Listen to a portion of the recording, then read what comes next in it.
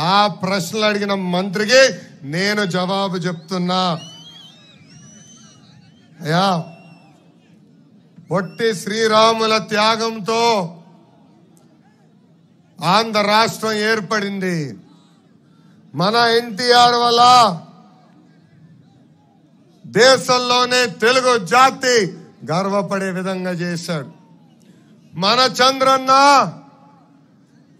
భారతదేశంలోనే కాదు ప్రపంచంలోనే ఆంధ్రుల సత్తా ఏంటో చేసి చూపించారు. ఒక ఆంధ్ర రాష్ట్ర అభివృద్ధి కోసం ఎంతో మంది ముఖ్యమంత్రులు వాళ్ళు త్యాగాలు చేశారు. గత అరవై ఏడు సంవత్సరాలుగా ఆంధ్ర రాష్ట్రాన్ని అనేక మంది ముఖ్యమంత్రులు అభివృద్ధి చేశారు. కానీ గడిచిన మూడు సంవత్సరాలు ఎనిమిది నెలల్లో ఒక్క ఛాన్స్ జగన్ రాష్ట్రాన్ని నాశనం చేశాడు. గత మూడు సంవత్సరాలు ఎనిమిది నెలల్లో ఆంధ్ర రాష్ట్రాన్ని అరవై ఏడు సంవత్సరాలు వెనక్కి తీసుకెళ్ళాడు. యువకులు మహిళలు రైతులు కార్మికులు ఉద్యోగస్తులు అందరూ ఈ ప్రభుత్వం చేతుల్లో బాధితులు. ఈరోజు ఆంధ్ర రాష్ట్రంలో ఎవరన్నా మాట్లాడితే కేసులు. ఎవరన్నా ఉద్యమిస్తే జైలు. వేలాది మంది యువకులు వచ్చి నన్ను కలిశారు. అన్నా ఇదేంటి మన రాష్ట్ర పరిస్థితి అని అన్నారు. అందుకే నేను యువగలం పాదయాత్ర ప్రారంభించా. ఇది పాదయాత్ర మాత్రమే కాదు యువతకి ఒక ప్లాట్ఫామ్. యువతకి ఈ ప్రభుత్వం పైన పోరాడడానికి ఒక అద్భుతమైన అవకాశం అని తెలుపుతున్నాను. జగన్మోహన్ రెడ్డి అంటే నాకు జాదూ రెడ్డి గుర్తొస్తున్నాడండి. జగన్మోహన్ రెడ్డి అంటే జాదూ రెడ్డి మైసూర్ బోండలో మైసూర్ ఉండ- ఉండదండి. మైసూర్ బోండలో మైసూర్ ఉండదు. ఈ జాదూ రెడ్డి జాబ్ క్యాలెండర్లో ఉద్యోగాలు ఉండవు. అయ్యా గ్రూప్ వన్ గ్రూప్ టూ నోటిఫికేషన్లు ఇస్తే ముప్పై ఆరు ఉద్యోగాలా? సిగ్గేట్లేదా మీకు? ముప్పై ఆరు ఉద్యోగాల. ఒక మాటలో చెప్పాలంటే ఈ జాదు రెడ్డి యువకుల్ని మోసం చేశాడు. ఎన్నికల ముందల పాదయాత్ర చేస్తూ ప్రతి గడప దొక్కాడు. ఆ పాద పాదయాత్రలు చెప్పాడు. చెల్లి తమ్ముడు రెండు లక్షల ముప్పై వేల ఉద్యోగ ప్రభుత్వ ఉద్యోగాలు మొదటి సంవత్సరంలో ఇస్తానని చెప్పాడు. ఏమైందయా హామీ అని ఈ సభాముఖంగా జాదవ్ రెడ్డి నేను ప్రశ్నిస్తున్నా. ప్రతి సంవత్సరం జాబ్ క్యాలెండర్ ఇస్తా అన్నాడు. ఇచ్చాడా తమ్ముడు? జాబ్ క్యాలెండర్ వచ్చిందా? దాదాపు నాలుగో సంవత్సరంగా వస్తున్నాడు. ఏమైంది నీ జాబ్ క్యాలెండర్ అని నేను జాదురెడ్డిని ప్రశ్నిస్తున్నా. అంతేకాదు ప్రతి సంవత్సరం ఆరు వేల ఐదు వందల పోలీస్ కానిస్టేబుల్ పోస్టులు భర్తీ చేస్తా అన్నాడు. ఒక్క పోస్ట్ అన్న భర్తీ చేసినాడా?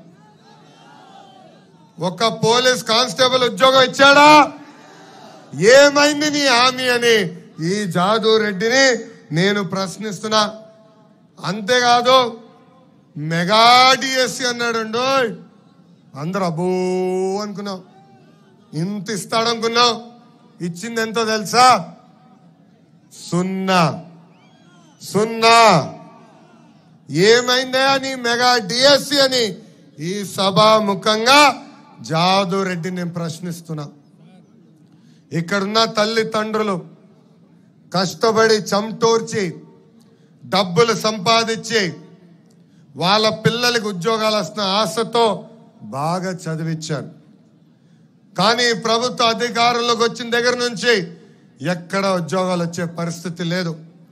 ఈ బాధ తట్టుకోలేక ఊర్లో ఒక నిరుద్యోగిని చిన్న చూపు చూస్తున్నారని బాధతో మూడు వందల మంది నిరుద్యోగ యువతి యువకులు ఇప్పటికీ ఆంధ్ర రాష్ట్రంలో ఆత్మహత్య చేసుకున్నారు.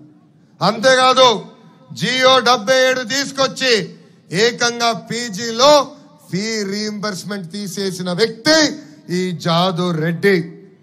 గత మూడు సంవత్సరాల ఎనిమిది నెలల్లో జే ట్యాక్స్ ఫుల్ జాబులు మటుకు సున్నా. ఈ జే ట్యాక్స్ వల్ల ఆంధ్ర రాష్ట్రంలో పరిశ్రమలన్నీ పక్క రాష్ట్రానికి వెళ్ళిపోయే పరిస్థితి. ఒక రిలయన్స్ ఏమి ఫ్రాంక్లిన్ టెంపుల్టన్ ఏమి? ట్రైటాస్ ఏమి? లూలు ఏమి? హోలీటెక్ ఏమి? మెగా సీడ్ పాక్ ఏమి? మన జిల్లాకి చెందిన అమర్ రాజా కూడా పక్క రాష్ట్రానికి వెళ్ళే పరిస్థితి. గల్లా జయదేవ్ గారు మన తెలుగుదేశం పార్టీ ఎంపీ. రెండు వేల పద్నాలుగు నుంచి రెండు వేల పంతొమ్మిది వరకు మన చిత్తూరు జిల్లాలో పెద్ద ఎత్తున పెట్టుబడి పెట్టారు. వేలాది మందికి ఉద్యోగాలు కల్పించారు. దశాబ్దాలుగా మన జిల్లాలో నడుస్తున్న పరిశ్రమని ఏకంగా జే ట్యాక్స్ కట్టలేదని వాళ్ళు పక్క రాష్ట్రానికి పంపించేశారు. ఎంత దారుణం అంటే నెలకి ప్రజాధనాన్ని తీసుకున్న ఒక జీతగాడు వాళ్ళు వెళ్ళిపోలేదు. మేమే పంపించేసాం చెప్పే పరిస్థితి. ఈ యొక్క పరిశ్రమ వెళ్ళిపోవటం వల్ల దాదాపు పదివేల మందికి మన ఆంధ్రులకి ఉద్యోగాల అవకాశాలు కోల్పోయాం. ఈరోజు పరిశ్రమలన్నీ క్యూ కట్టినాయి. బాయ్ బాయ్ ఆంధ్రప్రదేశ్ అని చెప్పే పరిస్థితి. అయా అభివృద్ధి వికేంద్రీకరణ అంటే చేసి చూపించిన వ్యక్తి మన చంద్రబాబు నాయుడు గారు అనంతపూర్కి Kia Motors Berger Paints Jockey తీసుకొచ్చారు. ఆ జాకీ కంపెనీ కూడా పక్క రాష్ట్రానికి పంపించేశారు ఈ ప్రభుత్వం. కడప జిల్లాకి స్టీల్ ప్లాంట్ తీసుకొచ్చారు. చిత్తూరుకి Foxconn Celkon Karbonn TCL Dixon Zoho తీసుకొచ్చారు. కర్నూలు జిల్లాకి సిమెంట్ కంపెనీలు తీసుకొచ్చారు. సోలార్ పవర్ ప్లాంట్లు తీసుకొచ్చారు. ఫార్మా ఏర్పాటు చేసానికి ఫార్మా సిటీ కూడా రూపొందించారు. ఇంకా నెల్లూరు జిల్లాకు వస్తే శ్రీ సిటీ తీసుకొని వచ్చారు దాంట్లో Hero Motors Apollo Tyres Suzlon లాంటి పరిశ్రమలు తీసుకొచ్చారు. మళ్ళీ ప్రకాశం జిల్లాకి ఏషియన్ పేపర్ మిల్ తీసుకొచ్చారు. తూర్పు పశ్చిమ గోదావరికి డిఫెన్స్ పరిశ్రమలు ఫిషరీస్ ఫార్మా తీసుకొచ్చారు. ఇంకా మా ఉత్తరాంధ్ర విశాఖపట్నం విజయనగరం శ్రీకాకుళం జిల్లాకు వస్తే అనేక ఐటీ పరిశ్రమలు తీసుకొచ్చాం. అదాని డేటా సెంటర్ తీసుకొచ్చాం. ఏషియన్ పెయింట్స్ తీసుకొచ్చాం. ఫార్మా కంపెనీలు తీసుకొచ్చాం.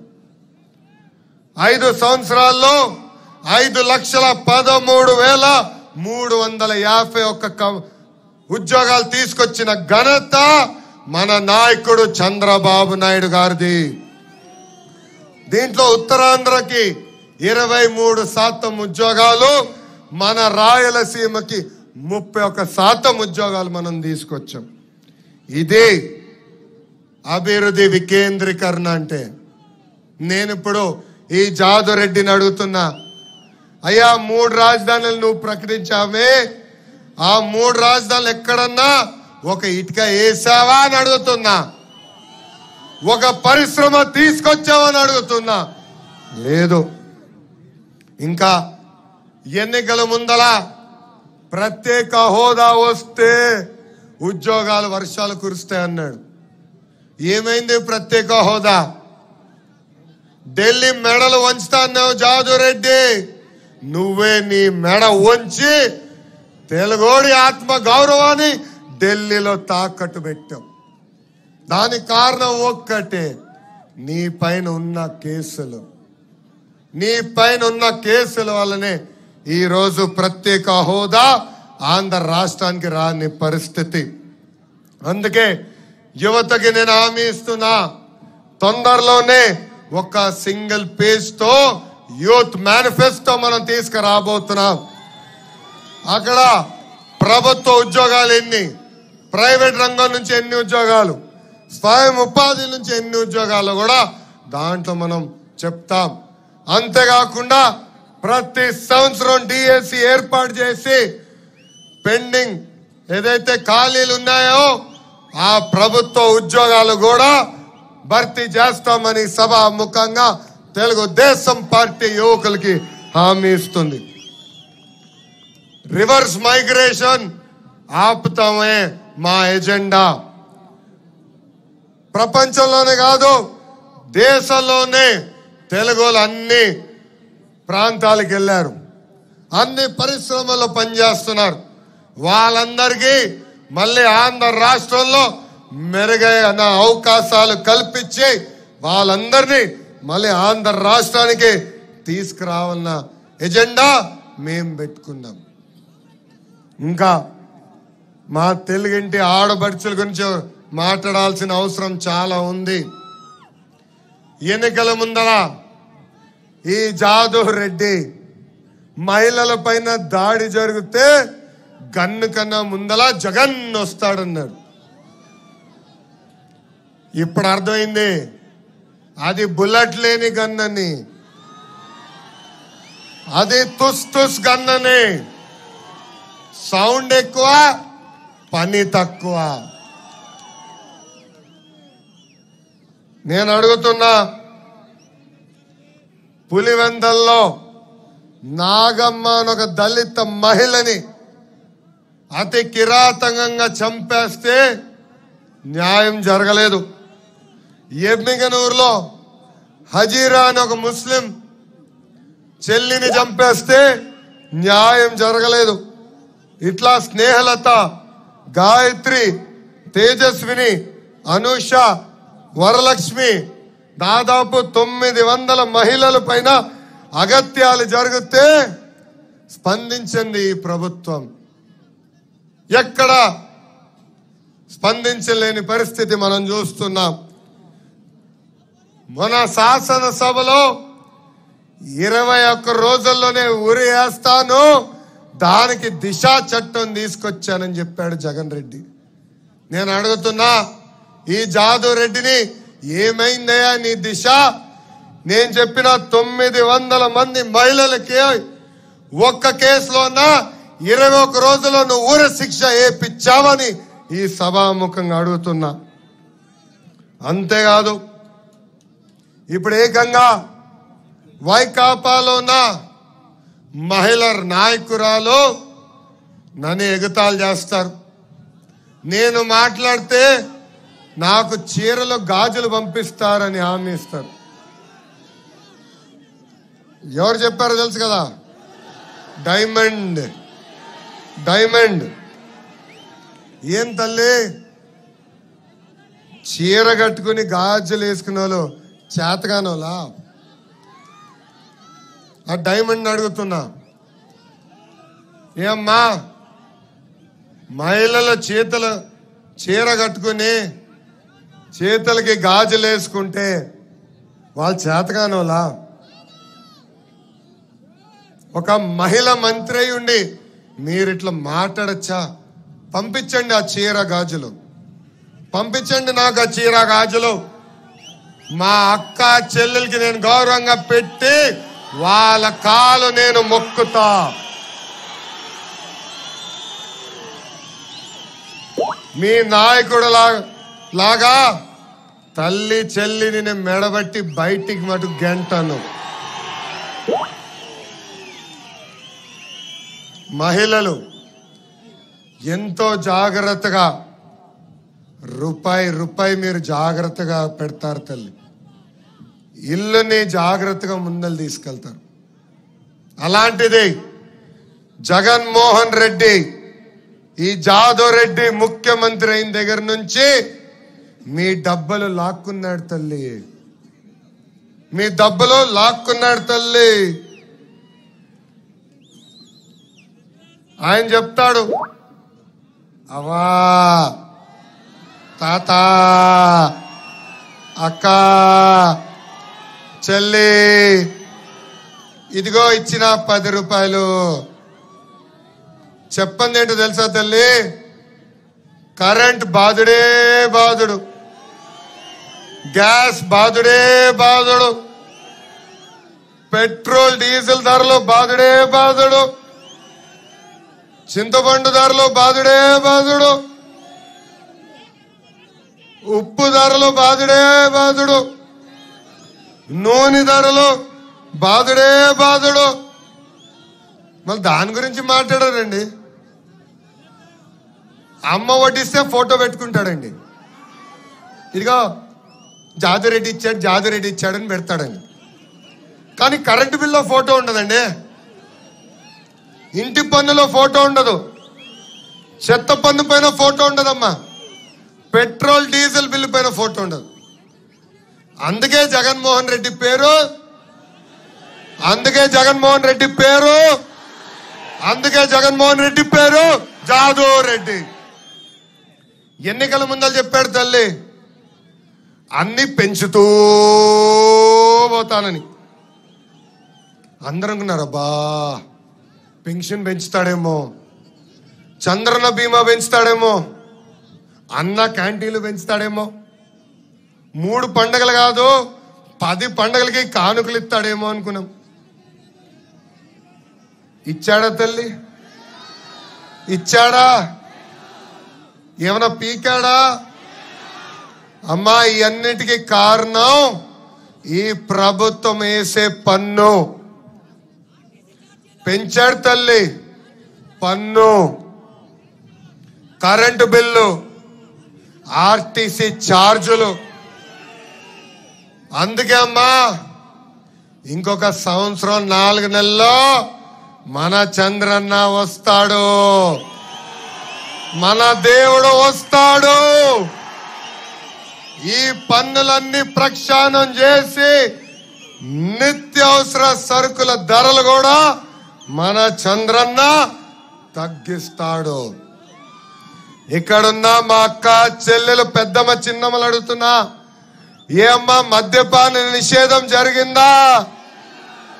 మద్యపాన నిషేధం జరిగిందా?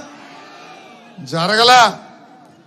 కానీ జాదురెడ్డి ఏం తెచ్చాడు తెలుసా తల్లి? Boom boom. President medal. Andhra gold. ఇట్లా పేద ప్రజలు తాగే క్వార్టర్ బాటలు తయారీ ప్యాకింగ్ డిస్ట్రిబ్యూషను తాగిస్తం కూడా చేసే వ్యక్తి ఈ జాదురెడ్డి ఆయన అనుచరులు. ఎప్పుడు నిన్నామా మనం ఇవన్నీ? ఈరోజు ఆ కల్తీ మద్యం తాగి తెలుగింటి